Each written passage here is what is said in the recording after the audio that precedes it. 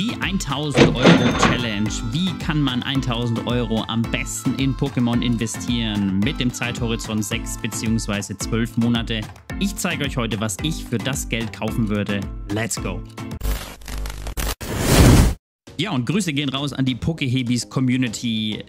Die Kollegen, deren Channel ich auch nochmal in der Beschreibung verlinkt habe, haben ja zu der Challenge aufgerufen und ja, die Challenge nehme ich natürlich super gerne an, aber schauen wir kurz selber nochmal rein. Vor allem, ich möchte ja euch herausfordern und auch andere Content Creator auf YouTube und anderen Plattformen, sich an der Challenge zu beteiligen und hier ein virtuelles Portfolio zumindest zu kreieren, um zu schauen, welches dann in einem Jahr oder in den nächsten Jahren einfach äh, besser performt. Zu den Spielregeln, wie ihr da mitmachen könnt, komme ich dann am Ende nochmal genauer. Gehen wir aber jetzt rein in die Spielregeln, die ich mir überlegt habe. Und zwar, es sollte in dem Portfolio mindestens eine Trainerbox drin sein, mindestens eine eine Boosterbox und mindestens eine Karte und äh, es darf maximal ein Produkt äh, doppelt ausgewählt sein. Das heißt, ein Produkt kann man doppelt sich ins Portfolio legen, aber ansonsten sollte kein Set doppelt vertreten sein. Das heißt, bis auf das Produkt, das man doppelt auswählen kann, sollten alle Produkte aus unterschiedlichen Sets kommen und ich denke, das macht es ja aus, eben hier möglichst breit aufgestellt zu sein. Ich habe so ein bisschen auch den Blick mit kurz- und langfristigen äh, Ertragsmöglichkeiten Möglichkeiten gehabt und Sprachen sind erlaubt, Englisch, Deutsch und Japanisch. Und äh, ich orientiere mich und das ist auch für den Wettbewerb sozusagen oder für die Challenge an den Card Market Preisen, an den Bestangeboten, wo es aber eben eine Mindestmenge zu dem Preis von drei Stück gibt. Ja, Spielregeln sind klar. Dann schauen wir mal, welche Produkte ich mir rausgesucht habe. Und wir starten mit einem meiner absoluten Lieblingsprodukte und das ist die Elite Trainer Box aus Hidden Fates. Ja, Hidden Fates ist für mich ein Set, was in letzter Zeit ein Stückchen zu kurz gekommen ist. Alle sprechen nur über Schwert und Schild, sprechen nur über Tag-Team-Karten, aber Hidden Fates einfach ein legendäres Set, wie ich finde. Für mich immer noch das beste Set der Neuzeit ähm, und hier mit 127,50 Euro Die Box würde ich mir auf jeden Fall ins Portfolio packen. Allein die ganzen Shinies, die wir hier drin haben, auch mit dem legendären Glurak, ist für mich einfach ein Banger-Set und das kann für mich im Wert nur nach oben gehen. Auch wenn wir sehen, die letzte Zeit ist es relativ preisstabil, aber irgendwann wird der Punkt kommen, an dem dieses Set durch die Decke gehen wird. Aber ich habe mir nicht nur eine ETB ins Portfolio gelegt, sondern auch noch eine zweite. Und hier habe ich mich für Brilliant Stars entschieden. Und zwar nicht für die normale ETB, sondern für die Pokémon Center exklusive ETB.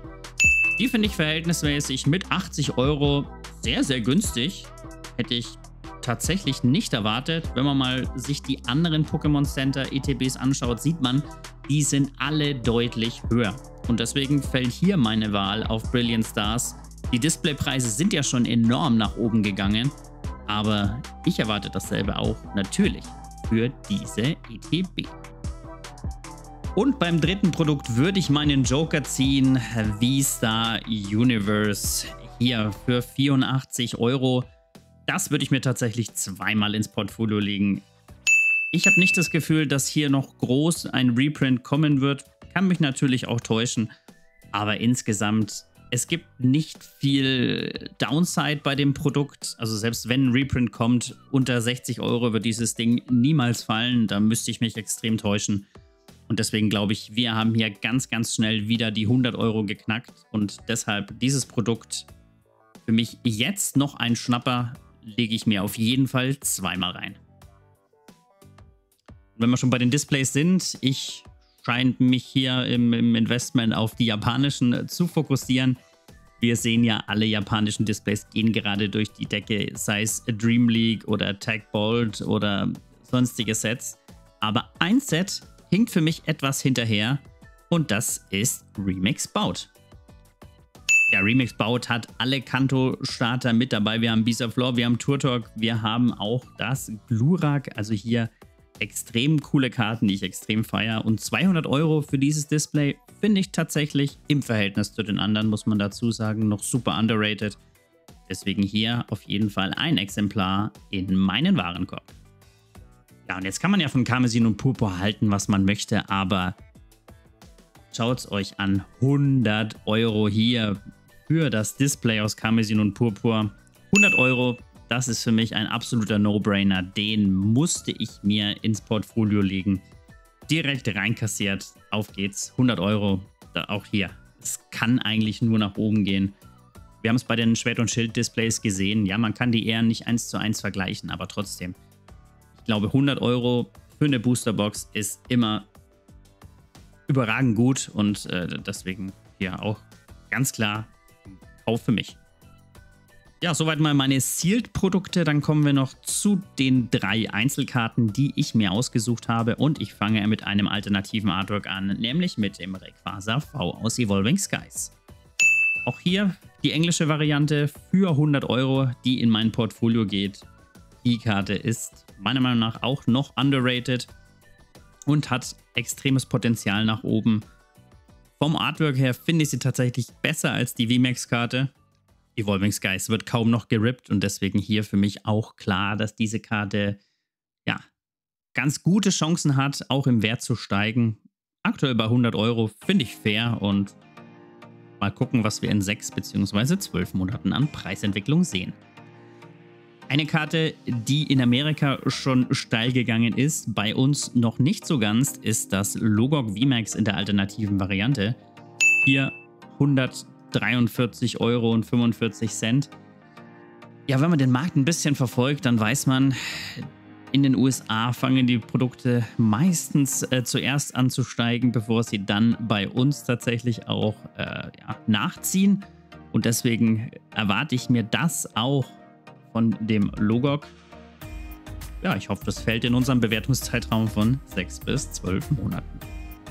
Vorhin habe ich sie schon mal kurz anklingen lassen, die Tag-Team-Karten. Und hier habe ich mich für eine besondere entschieden. Ich habe mich nämlich für das Nachtara und das Darkrai entschieden. Und zwar hier für die Full-Art-Version. Warum gerade diese Karte? Ja, diese Karte ist exklusiv in Japan erschienen, also in äh, Tag Team All-Stars GX. Die gibt es bei uns so nicht und wir kennen alle den Hype, der gerade um Nachthaare entsteht und deswegen waren das zwei Faktoren, die Exklusivität, dass sie eben nur auf Japanisch vorhanden ist, plus das Pokémon Nachtara, welches mich zu diesem Kauf bewegt hat. 80 Euro hier für diese Karte. Da kann ich mir auch vorstellen, dass wir hier schnell das Doppelte sehen. Einziger ja, Kritikpunkt, der wahrscheinlich kommen mag. Es gibt hier nur acht Exemplare, aber da muss man mal schauen, wie sich diese Karte auch auf Card Market entwickelt. Aber das können wir uns ja dann anschauen, wenn wir tatsächlich mal einen Strich unter unser Portfolio machen. Ja, von meinem restlichen Geld ähm, gehe ich noch Eis essen, also habe ich dann somit auch aufgebraucht, jetzt wenn der Sommer wieder vor der Tür steht. Ähm, richtig coole Challenge, Pokehabies, vielen, vielen Dank für die Herausforderung. Ich bin gespannt, wie sich unsere Portfolios entwickeln werden. Bin gespannt, wer noch alles mitmacht. Und der Aufruf geht natürlich auch gern an euch weiter. Stellt gerne euer 1000 Euro Portfolio zusammen und lasst mich gerne in den Kommentaren wissen. Ich gebe das Ganze dann gesammelt natürlich an Pokehebis weiter und dann schauen wir mal am Ende des Tages, wie sich unsere Portfolios entwickelt haben. Ich finde es mega interessant, mal so den richtigen Investmentgedanken hier mit reinzubringen und mal mit so einem Spieldepot zu agieren. Freue mich auf die Ergebnisse in 6 bis 12 Monaten. Ja, soweit mein Portfolio. Wenn euch das Video gefallen hat, lasst gerne einen Daumen, lasst gerne ein Abo da und schaut gerne auch nochmal bei den Kollegen von Pokehebis vorbei, machen auch super coolen Content.